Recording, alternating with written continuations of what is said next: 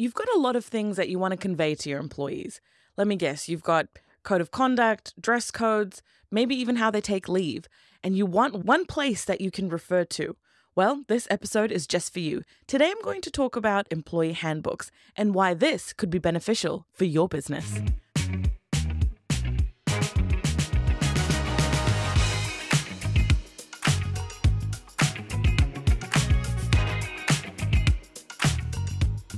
Hi, everyone. Welcome back to Law Lenz. My name is Sanam, and thank you so much for tuning in today. Like the title says, like I've said in the intro, we are going to be talking about employee handbooks. That's right. Employee handbooks are something that used to come up very, very often when I was working in an advisory space, and it is because it can be a consolidated piece of information or one document that's cohesive and that conveys the information that it needs to convey to all employees across the board, which could be around code of conduct, how they need to communicate, how they take leave. There's, there's a whole raft of things that you can put in there. And I believe that it can truly be beneficial for an employer. But I understand it is a lengthy, lengthy document. It is not something where you've got five pages in there and you're done. That's usually a policy. This is something where you would want to pull everything together so that the employee knows what is expected by the company. Now, I have something very exciting to share with you. Law Lenz will officially be going weekly instead of fortnightly for our episodes, and I'm very excited to say that because there is a lot to cover. I was sitting down, to be honest, and doing a bit of a, a list on what I could discuss potentially over the course of the year. And employment law is changing, so those are always things that will pop up. But aside from that, there is just so much in the Holidays Act, there is so much in the Employment Relations Act, and everything in between, from advocates to poor managers to dealing with difficult employees. There's just so many things that need to be covered, and I am happy to cover that here on this podcast. So I am very, very excited to announce that it is going to be a weekly podcast that we will be doing now. And so that leads me into the second item that I wanted to discuss, which was laughs with Law Lenz. Now, with it being weekly, it's going to be hard to stick to a weekly schedule of these dry jokes, but I will try my best to fit them in. With that in mind, today we're having laughs with Law Lenz, where I give you a dry joke in the episodes. What's it called when you steal someone's coffee? A mugging. Look, this ties perfectly into today's episode because we need to talk about workplace etiquette, workplace culture, and just the general code of conduct, what needs to happen in a workplace. And I always remember every time I started an office environment, there would always be this orientation that you would do. And as you walked through the office, you would wind up in the kitchen area, and it would always be and I am not kidding you, always people will open up the cupboards and they'll go, These are the cups that belong to everyone in the workplace, you can pick and choose whichever one you want, but these ones are a no go unless they are your designated mug that you use for your coffee that you've brought in for work. You are not allowed to touch these. And if you touch them, people come for you. People do come for you. It is a very, very serious thing. So, with that said, don't steal anybody's mugs. Don't steal anyone's coffee. We don't want a mugging in the workplace. But what we do want is to look at how to make sure that nobody can complain or fuss about mugs being stolen and we can set the expectation. And that's where employment policies come in, specifically the employee handbook. Now, the handbook is one document, one area that the employee can go to, which can sit very easily accessible if you work in a remote business, have one drive, one area that they need to access. If you work in an office space, you can have it sitting out the front in the reception area too, so that the employee can always have a look at it. We are in the era of AI, post COVID.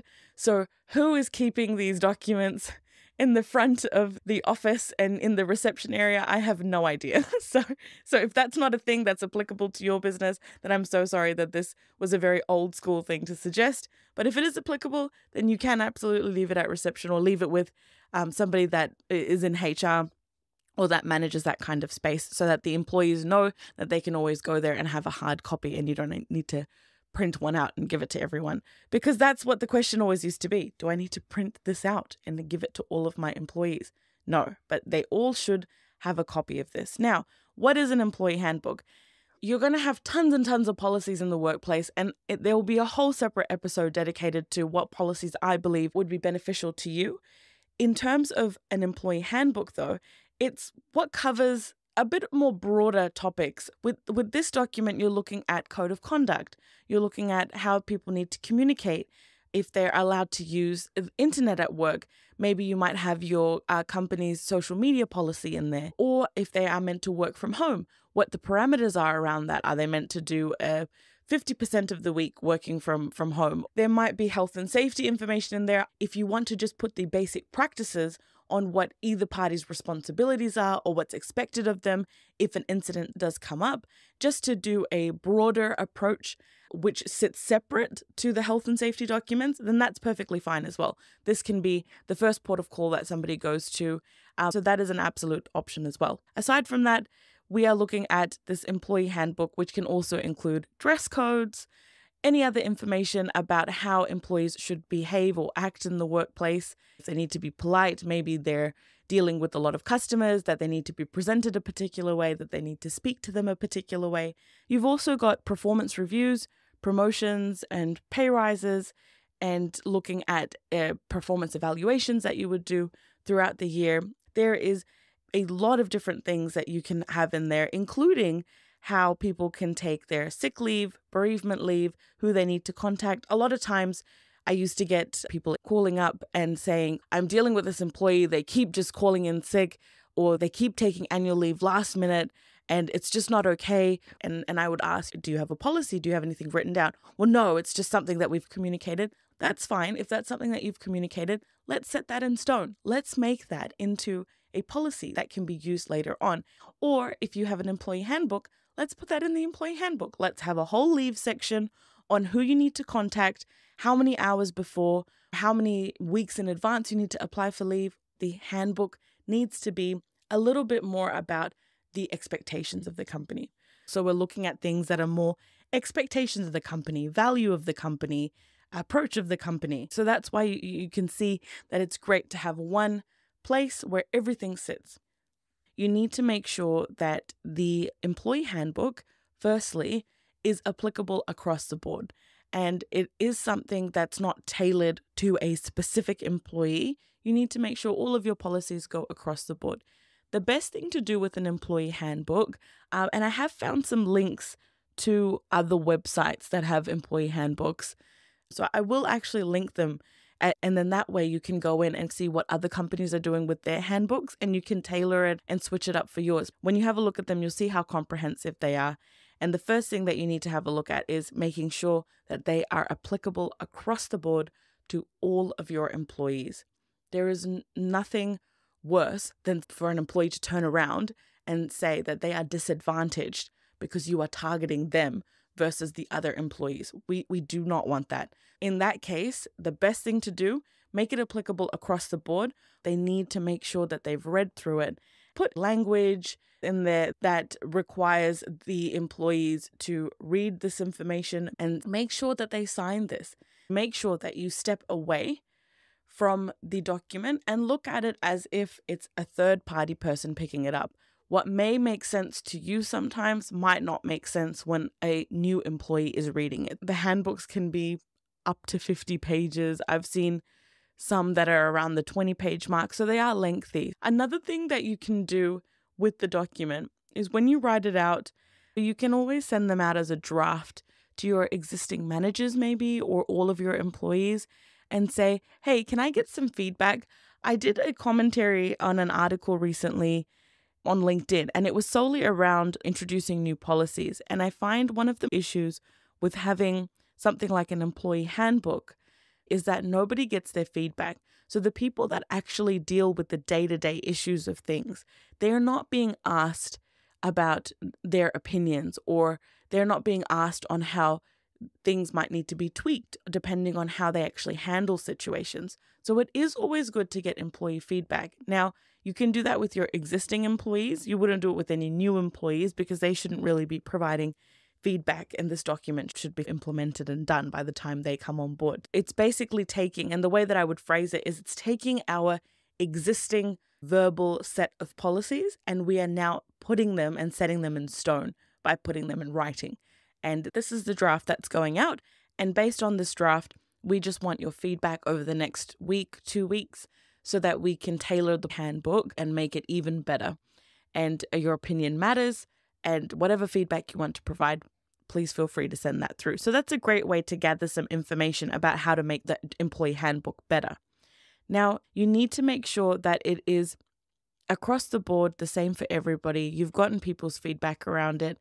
And the last thing that I would say is that you need to make sure that the employees have read through and that they have signed the handbook.